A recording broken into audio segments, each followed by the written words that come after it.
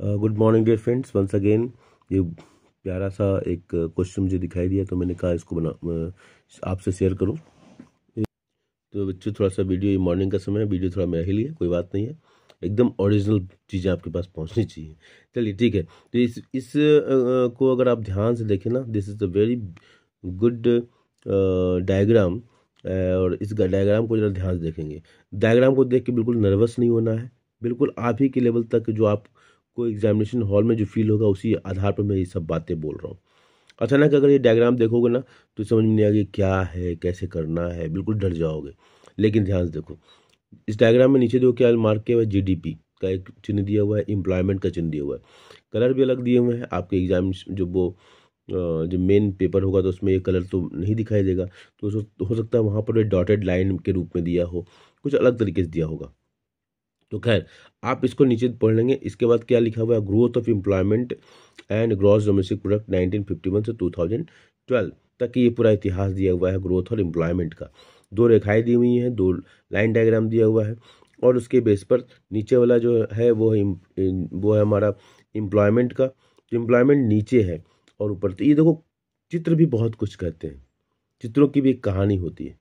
ठीक है? तो इसी क्वेश्चन को हम, अगर हम देखें तो मैं इसका देख इसको अगर थ्योरी में भी क्वेश्चन पूछा जाता तो इस क्वेश्चन को पूछा जाता क्या मतलब ये ये क्वेश्चन बन जाता current challenges of facing Indian economy से।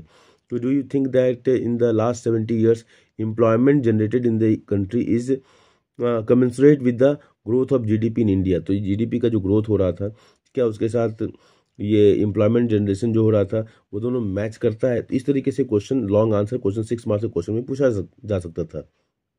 ठीक है?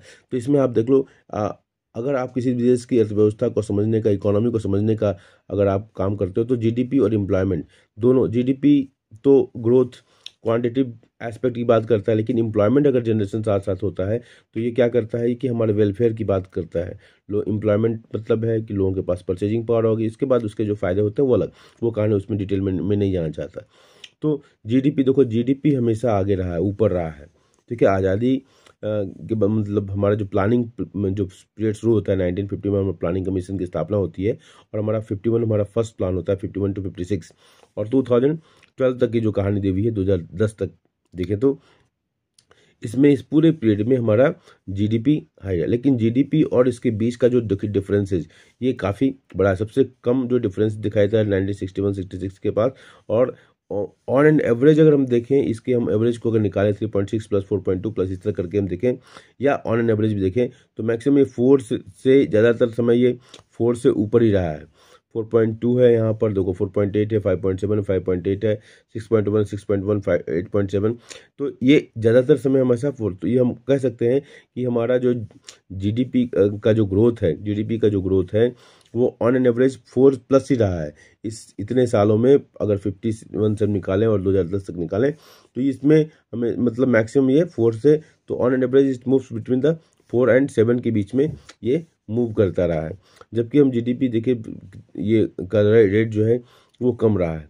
तो इस वजह से हम ये कहना कि हम ये कह सकते हैं कि, कि इंडियन इकोनॉमी हम लोगों को जो मिला वो ज़्यादा मात्रा में गुड्स एंड सर्विसेज़ का प्रोडक्शन ज़्यादा हुआ, और और एम्प्लॉयमेंट भी जनरेशन हुआ लेकिन ठीक है? और इसको हम कहते हैं कि इस तरह के हम जो ग्रोथ को एक नाम देते हैं, इसको हम कहते हैं कि जॉबलेस ग्रोथ जो कि जॉबलेस ग्रोथ अच्छा नहीं मानाता है, क्योंकि आप ग्रोथ हो रहा है, लेकिन उससे कमन जो, इससे जो मैचिंग देखिए तो वो उतनी अच्छी नहीं मैचिंग हो रही है, इसलिए इसको हम जॉबलेस ग्रोथ की अवस्था, इस डायग्राम को हम एक प्यारा सा नाम दे सकते हैं जॉबलेस ग्रोथ को, को ये डायग्राम इंडिकेट करता है। तो इस तरीके से आपको एक्सप्लेन कर देना है।